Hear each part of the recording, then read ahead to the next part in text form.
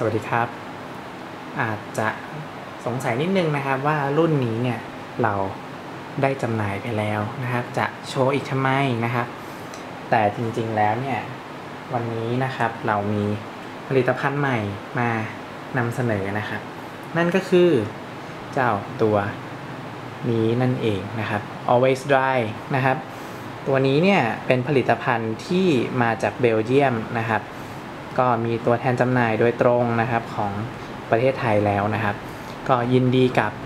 นักสะสมรองเท้าด้วยนะครับ แล้วก็ผู้รักรองเท้าทุกท่านนะครับ จริง ๆ ผลิตภัณฑ์นี้มันใช้ได้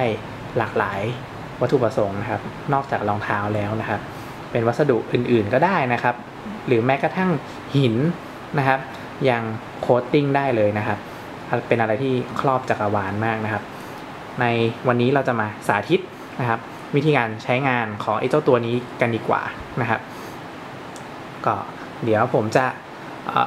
ทำการพ่นนะครับเคลือบไอ้เจ้า Future ของผมเนี่ยในข้างซ้ายนะครับ ง่ายนิดเดียวนะครับก็แค่เปิดฝามานะครับ มันจะเป็นหัวปั๊มนะครับ ให้ฉีดลงไปบริเวณที่เราต้องการนะครับ ก็ฉีดเลยแล้วกันนะครับ มันก็จะเป็นสเปรย์พ่นที่ค่อนข้างจะฟุ้งๆนะครับ กระจายทิศทางฟุ้งๆนะครับ ก็จะใช้เยอะใช้น้อยขนาดไหนเนี่ยขึ้นอยู่กับผิวนะครับ หรือวัสดุของอที่สิ่งที่เราจะcoating มันนะครับ อย่าง Future ผมว่าก็ไม่ต้องใช้เยอะอะไรมากนะครับ แค่พ่นให้มันทั่วๆ ก็น่าจะเพียงพอแล้วนะครับ จากที่เห็นว่ามันมันกระจายฟุ้งไปหมดนะครับ โอเค แล้วเดี๋ยวรออีกสัก 45 นาทีกันละกันนะครับ แล้วเดี๋ยวเรามาดูผลกันดีกว่าว่ามันเป็นยังไงนะครับสำหรับเจ้าฟิวเจอร์ข้างซ้ายนี้นะครับ ข้างขวาไม่ได้ทำอะไรกับมันนะครับ ยังอยู่เฉยๆอยู่นะครับเอาละฮะ ได้เวลา แล้วนะครับสำหรับการทดสอบนะครับ ซึ่งผมอาจจะใช้เวลาน้อยเกินไปนะครับ ในการอรอให้น้ำยาเนี่ยมันแห้งนะครับ อย่างมีประสิทธิภาพ ซึ่งผู้ผลิตเนี่ยเขาบอกว่าให้ทิ้งไว้สัก 24 ชั่วโมง แต่ผมทิ้งไว้แค่ 45 นาที เท่านั้นนะครับ เราก็จะมา drop น้ำนะครับ จากเจ้าไซลิงนี้นะครับ ในการเทสเลยนะครับว่า จากที่ไม่ได้โค้ดเนี่ยกับโค้ดแล้วเนี่ยจะแตกต่างกันยังไงนะครับ ทีนี้ผมลอง drop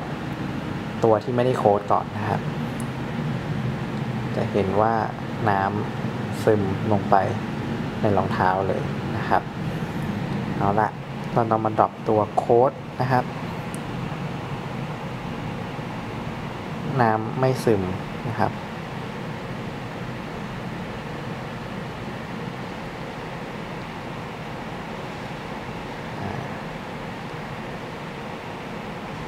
เป็นการป้องกันที่เรียกว่า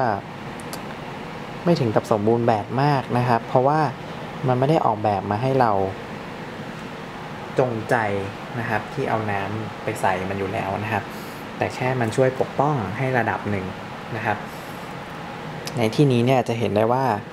น้ำเนี่ยมันไม่ซึมเข้าไปนะครับ แต่มันก็คงยังเกาะอยู่บนพื้นผิวตัวรองเท้านั่นเองนะครับ แต่แล้วก็สามารถ สะบัดสะบัดนะครับ ออกได้นะครับ โดยที่มันไม่ได้ซึมเข้าไปในตัวรองเท้านะครับ ก็ จากที่ดูแล้วก็ทำได้ค่อนข้างดีฮะตัว coating นี้นะครับ เดี๋ยวเราจะลอง drop อีกครั้งหนึ่งนะครับ ลอง test ดูซิ้างๆว่าเป็นยังไงนะครับ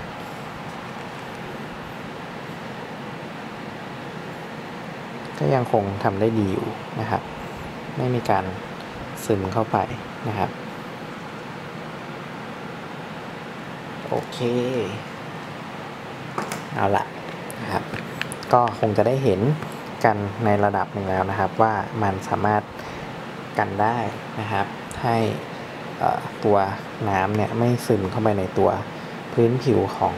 วัสดุที่เราพ่นลงไปนะครับ ในที่นี้เนี่ยก็ อันนี้จะเป็นขนาด 100มิลลิลิตรนะครับ จริง ๆ มันมีขนาดใหญ่กว่านี้แหละ แต่ว่าเราคิดว่าน่าจะพอเหมาะแล้วนะครับสำหรับการใช้งานกับรองเท้าไม่กี่คู่นะครับ ที่เก็บไว้ที่บ้านนะครับ หรือบางคนอาจจะมีหลายคู่ก็สอบถามได้นะครับว่ามีขนาดที่ใหญ่กว่านี้หรือเปล่านะครับ รู้สึกจะเป็น 500มิลลิลิตรนะครับ อาจจะพ่นได้ถึงเอาไปพ่นรถกันเลยทีเดียวนะครับ แต่นี้ 100มิลลิลิตรนะครับ490 บาทเท่านั้นนะครับ สามารถซื้อได้นะครับที่สาขา Intersport นะครับ ชั้น 1 มาบุญครองนะครับ ก็เข้ามาในร้านก็บอกได้เลยว่าอยากซื้อเอ่อ Always Dry นะครับ ก็เดี๋ยวน้องพนักงานที่ร้านก็จะไปหยิบมาให้นั่นเองนะครับสำหรับวันนี้ก็ขอจบการทดสอบนะครับ เพียงเท่านี้นะครับ สวัสดีครับ